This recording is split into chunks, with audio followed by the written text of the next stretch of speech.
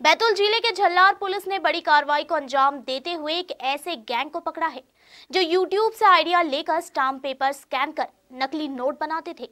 आरोपियों के पास से बड़ी मात्रा में नकली नोट बनाने का सामान जब्त किया गया है।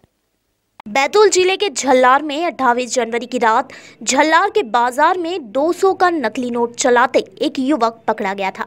पुलिस ने मामले की गंभीरता को देखते हुए बारीकी से जाँच करने पर मुख्य आरोपी महेश रास्के से पूछताछ करने पर वीरेंद्र पिता दुर्गादास पांडे टिकारी बैतूल की संलिप्तता जाली नोट बनाने में पाई गई। जिसके बाद पुलिस ने वीरेंद्र को उसके निवास से गिरफ़्तार कर लिया। वहीं मुख्य आरोपी महेश ने बताया कि वीरेंद्र इस काम में मेरा साथ देता था।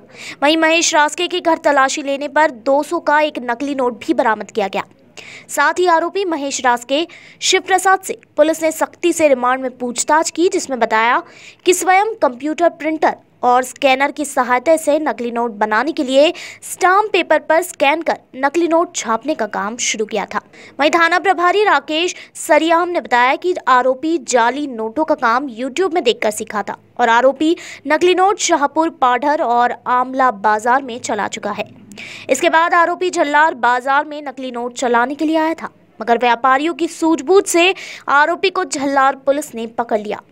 वहीं पुलिस को दूसरे आरोपी को पकड़ने में सफलता मिली है।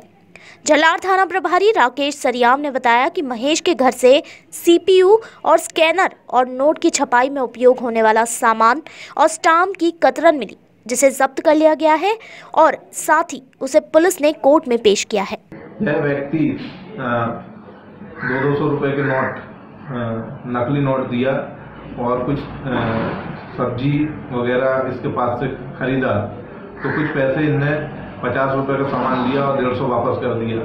लेकिन जब दुकानदार रामराव को ऐसी शंका हुई कि यार ये दो सौ का नोट नकली दिख रहा है। रिपोर्ट खबर मध्य प्रदेश।